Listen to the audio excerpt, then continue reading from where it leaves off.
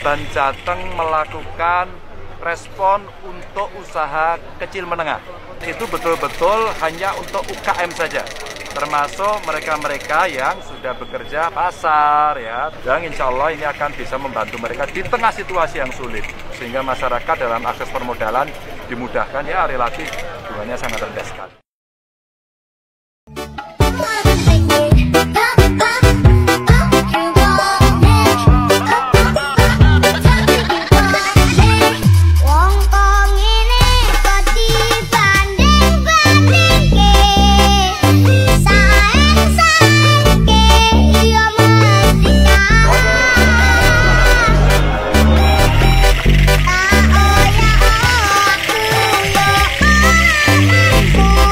Dan Jateng melakukan respon untuk usaha kecil menengah.